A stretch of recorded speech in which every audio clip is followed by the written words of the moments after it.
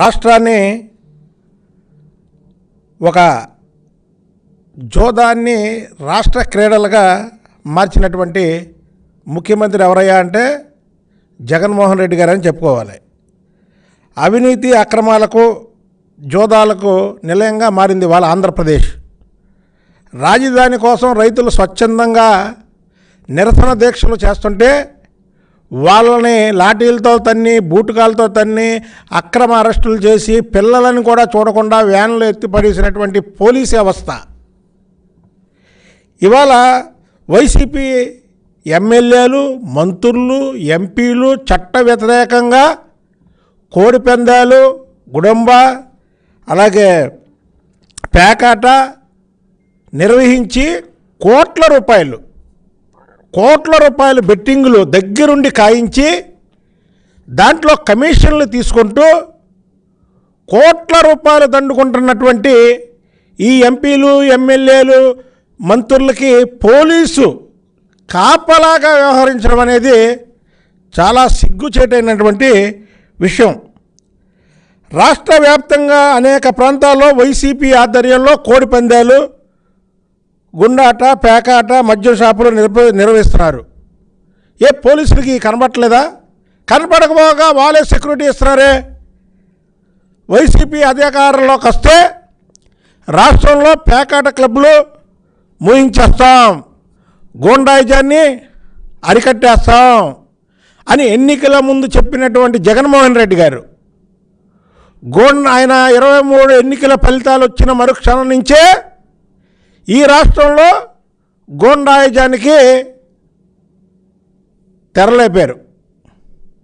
అప్పటి వరకు ప్రశాంతంగా ఉన్నటువంటి ఈ రాష్ట్రంలో ఇంకా ఆయన ముఖ్యమంత్రిగా కూడా ప్రమాణ స్వీకారం చేయకముందే వైసీపీ ఎమ్మెల్యేలు కానీ ఎంపీలు కానీ లేదా కార్యకర్తలు కానీ తెలుగుదేశం వాళ్ళ ఇళ్ళ మీద దాడులు చేయడం తెలుగుదేశం వాళ్ళని చంపడం ఎనిమిది మందిని తెలుగుదేశం వాళ్ళని ఊర్ల నుంచి తరివేయడం ప్రమాణ స్వీకారం ముందు జరక్క ముందు నుంచే మొదలుపెట్టినటువంటి జగన్మోహన్ రెడ్డి గారు.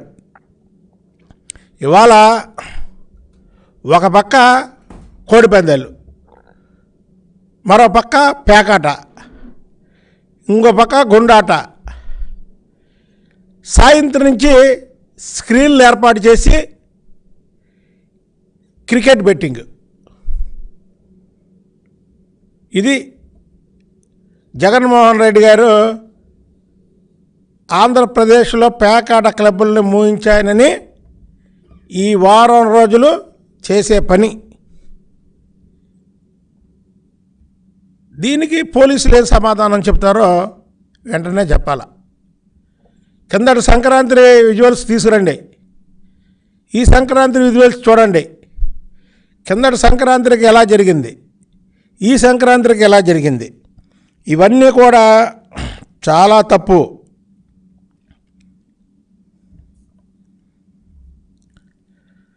అలాగే రాష్ట్రంలో కోడి పందాలు మామూలు వేయడానికి వీల్లేదు.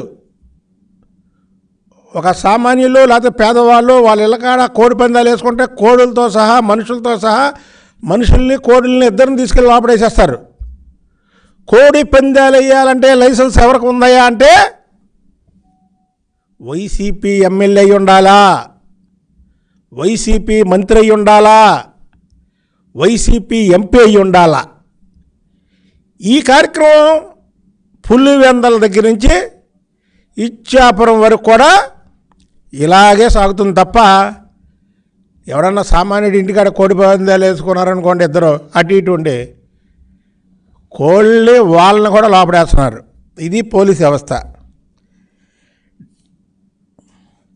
జే ట్యాక్స్లో భాగంగానే వై వైసీపీ నాయకులు జోదాలు నిర్వహించి అసలే డబ్బులు లేని ఆంధ్రప్రదేశ్లో జేబులకి చిల్లులు పెడుతున్నారు.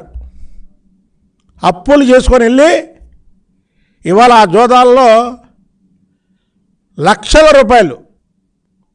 ఒక్కొక్క వ్యక్తి లక్షల రూపాయలంటే ఎన్ని వందల కోట్ల రూపాయలు జోదాల్లో పోగొట్టుకున్నారో ఆలోచించండి. ఈ వందల కోట్లన్నీ కూడా వైసీపీ ఎమ్మెల్యేల జేబుల్లోకి వెళ్తున్నాయి. వైసీపీ ఎంపీల జేబుల్లోకి వెళ్తున్నాయి. వైసీపీ మంత్రుల జేబుల్లోకి వెళ్తున్నాయి. అలాగే ముప్పై రోజులుగా దీక్ష చేస్తున్నారు. పండగ పూట పస్తులు ఉన్నారు సంక్రాంతి రోజు మనం మన పెద్దవాళ్ళకి బట్టలు పెట్టుకొని కలవ కూర అనుకొని అన్ని కూరలు కలిపి వండుకొని ముద్దపప్పు